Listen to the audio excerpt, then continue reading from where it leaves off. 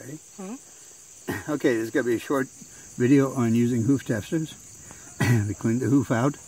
And we're going to take the testers. I use it by one hand, but you can put it between your legs and use two hands.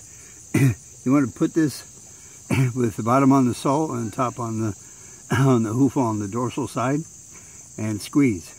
You can see the hoof, the sole depress a little bit. Sometimes you will, sometimes you won't.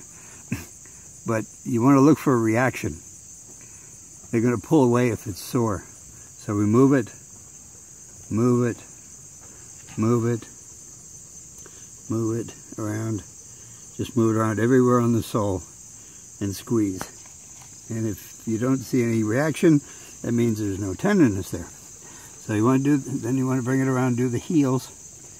Squeeze the heels, no reaction.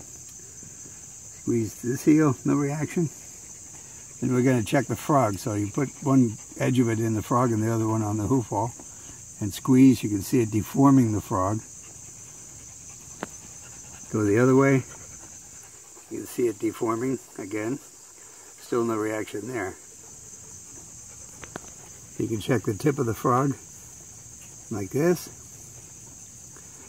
And overall we've seen no reaction there. If, if uh, they jerk their foot away, you can see about the difference between fidgeting and jerking the foot away. If they jerk the foot away, then you hit a tender spot. And that's what you're going to look for. But we don't have anything here. Okay, good.